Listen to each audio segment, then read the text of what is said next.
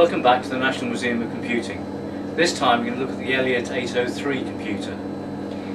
The Elliott 803 was a particularly popular model in the UK in the early 60s. It's a 40-bit serial machine. Now, we're going to toggle in enough of a small routine just to continuously increment values in the accumulator in the same way as we did with the PDP-8. Um, I'm going to use the binary keyboard at the moment to actually set those instructions up and operate them step by step. The machine itself is switched into a mode where it'll let me do this as opposed to the normal programming running mode. Now the accumulator at the moment is showing actually every single bit set. So before I start I need to clear the accumulator which is instruction 06. So clear the switches, 06 and operate. And then that's cleared the accumulator.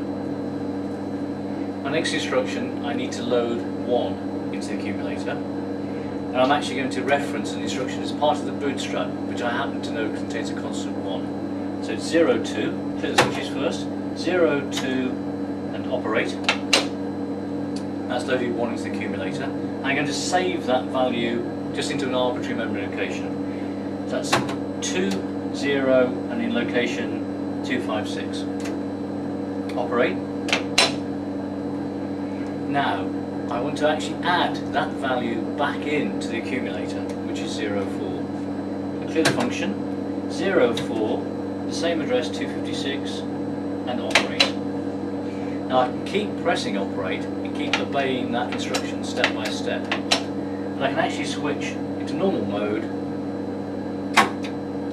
press the operate bar and have it repeat continuously.